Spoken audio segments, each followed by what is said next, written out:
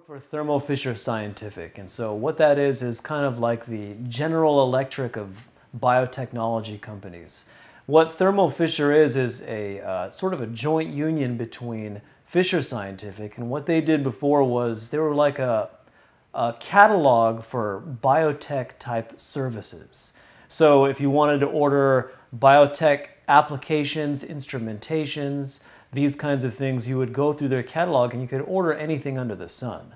Then what happened is that they merged uh, with another company, Thermo Electron, and when they did that, they became basically the largest bioscience company in the world. And so what they do is they have their hands in literally everything, the company as a whole. My particular division that I work for, next to Tesla, we all like to boast the fact that we're next door to Tesla. Uh, okay. But the building that I work in uh, primarily does immunodiagnostics. That's what it's called. And so basically, what that means is that you, from immunodiagnostics, you have immune, like for immune system, and diagnostics for diagnose.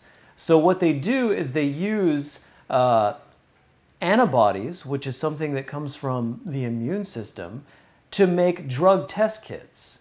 And so what they're doing is they're manufacturing these drug test kits.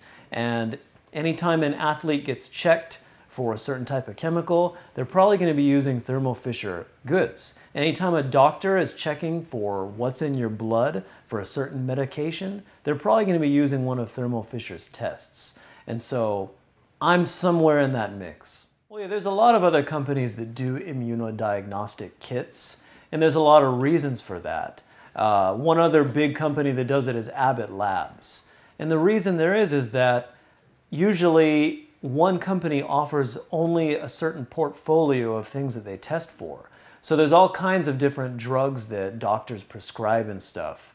And so you want to find a, a test kit that is going to work for that particular drug, whatever it is that the doctor is administering or whatever steroid, even drug of abuse. So there's all kinds of companies that, that come up that offer different types of test kits for different types of things. It just so happens that the big ones like Thermo Fisher and Abbott, they tend to buy up the little companies. So the little companies spring up out of nowhere and then they're, they're devoting their resources to developing these kits. And then once they have a viable kit, they just get bought out and get part of the big system. Well, I compare it to like a car manufacturing plant, right? There's a lot of things that have to happen before you build a car, as it were. You got to get a bunch of guys in a lab that are figuring out the idea, proof of concept, and then you go through an R&D phase, a research phase. Then once you're done with that research phase, then you start adapting what you did in the lab to a manufacturing phase. In other words, you got to prove that what you did in the lab can be scaled up and then put out to the market in the form of a kit. And so that's basically how these biotech companies are working, and my company as well. When I first got into the biotech labs, I was amazed at how ancient the technology seemed. It seemed like we were using a lot of equipment literally from the 1970s. You know, ancient chart recorders spitting out paper and things like this, very large, blocky types of equipment that have casing that looks yellowed with age, literally yellowed with age. And so a lot of this stuff like has been developed, the technology for biotechnology, a lot of it came in the 1970s. And it's been done for a long, long time. Like what I do with drug test kits involves hybridomas. And essentially what that is, is they're using uh, mouse cancer cells that are fused with uh, mouse spleen cells to produce a certain antibody to a particular chemical and you're shooting up mice with drugs is what happens. You rip out the spleen and you fuse it with a cancer cell and then you grow that cell. Then you have to have a way to purify out the antibody. So this basic technology is 30 years old. Now, what's changed is computers. Everybody knows now that we didn't have tablets like the size of our hand back in the 90s.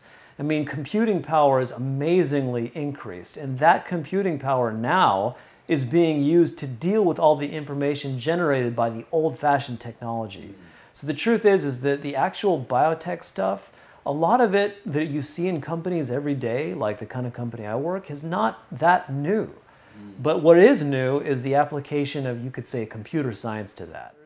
If anything, what's famous about scientists and chemists is they're not as good generally at dealing with other people. You take all these people that are brilliant, you put them in one place, and then they have to learn how to get along with each other.